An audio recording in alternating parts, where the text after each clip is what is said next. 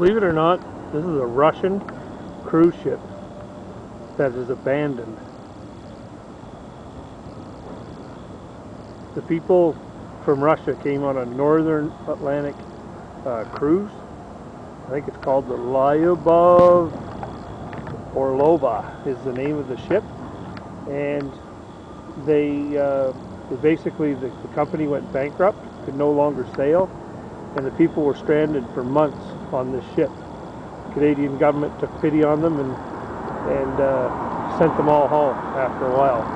But uh, the ship is, I guess apparently it is uh, abandoned. It's been sitting, uh, it's listing a bit and it's sitting here at the St. John's Harbor.